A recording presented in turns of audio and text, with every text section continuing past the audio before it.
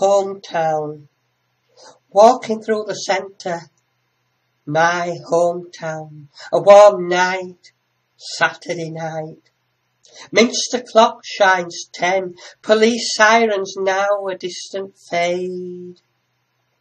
Earlier mouthy drunks with EDL language removed from the pub that I just left. Yet silence runs through to distant voices standing on smoky pub pavements. Town centre, Saturday night. Barren concrete, no shadowy figures for cameras to watch. Empty benches now, the resting place for the lone beer can of a previous tenant. Still devoid.